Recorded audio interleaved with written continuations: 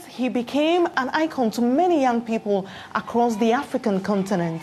Today, he remains a shining example of that African resilient story.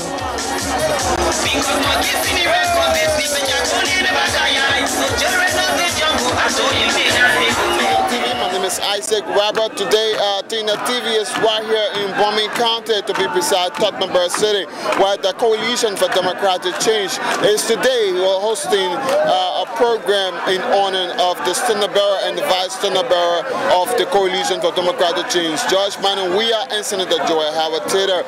As you see in my back, uh, we are right here to uh, this occasion where we see many Liberians from Bomi County here today to grace this occasion. Uh, many young people, not just young people, but people of, uh, of different background, different sectors of the county are here to welcome the bearer of the Coalition for Democratic Change and the vice bearer. Uh, many young people are here and they are rejoicing with smile on their faces to Manneh Weah. Then this is the county of the uh, President of Liberia, of Madam Ellen Johnson Sirleaf. This is where she come from. This is the, uh, the county of the former Speaker of the House of Representatives. So Tina TV, we're taking it from right here. We are here to cover this all-important program from the Coalition for Democratic Change as they come into Bomi County. This county is said to be the stronghold of the ruling Unity Party, but Ambassador George Weah is to say that the, there is no party on a county.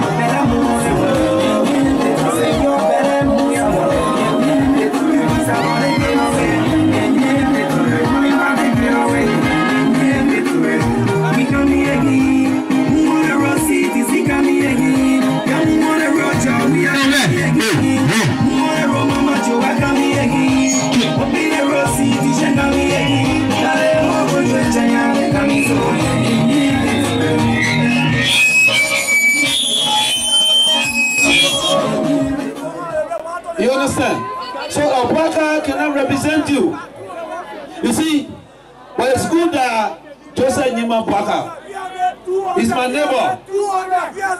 And I promised Bwaka the campaign is on. I will visit him with my truck and I will play CDC music. You'll listen to it for nights. Bwaka responsible for Lotto.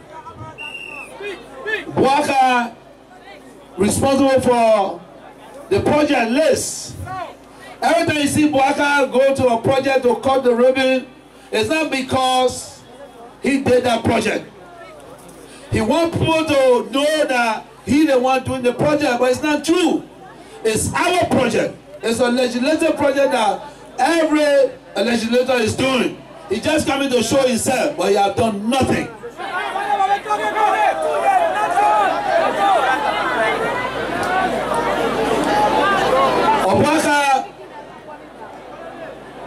Is a confused man. Obaka said to Liberians, and let me him, his old car has been parking in the garage for a long time, for 12 years. But Sirleaf gave Obaka the opportunity for the car to be driven.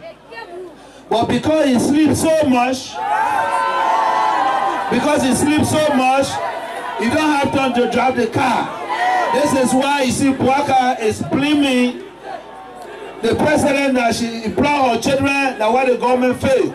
No, the government failed because Bouaka as a vice president did not